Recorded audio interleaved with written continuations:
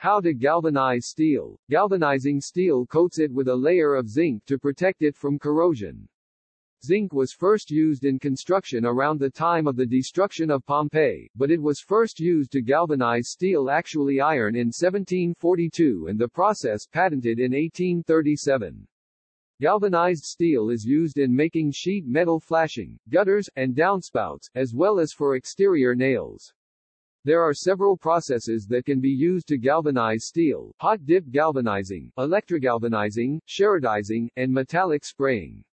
Hot dip galvanizing. Clean away the surface contaminants. Before any other steps can be taken, the steel surface must be cleaned thoroughly. How this is done depends on what has to be cleaned away.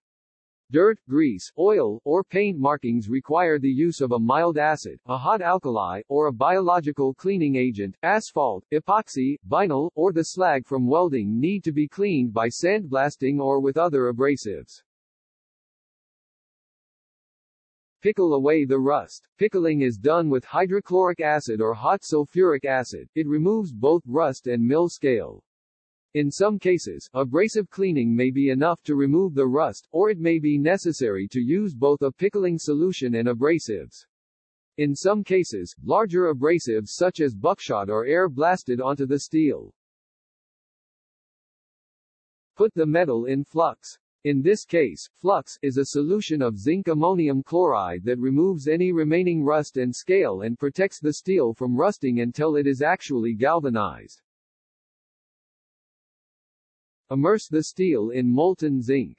The bath of molten zinc should be at least 98% zinc and maintained at a temperature range of 815 to 850 degrees Fahrenheit 435 to 455 degrees C. While the steel is immersed in the zinc bath, its iron reacts with the zinc to form a series of alloy layers and an outer layer of pure zinc.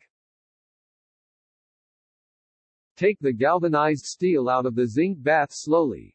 Most of the excess zinc will drain off, what doesn't drain off can be vibrated off or spun off in a centrifuge. Cool the galvanized steel. Cooling the metal stops the galvanization reaction, which continues as long as the steel is the same temperature it was while immersed in the zinc bath. Cooling can be done in one of several ways. Immerse the steel in a passivation solution such as potassium hydroxide. Immerse the steel in water. Let the steel cool in the open air. Immerse the steel in a passivation solution such as potassium hydroxide. Immerse the steel in water, let the steel cool in the open air. Inspect the galvanized steel. Once the galvanized steel is cooled, check it to make sure the zinc coating looks good, sticks to the steel, and is thick enough. There are a number of tests that can be performed to ensure the galvanization was successful.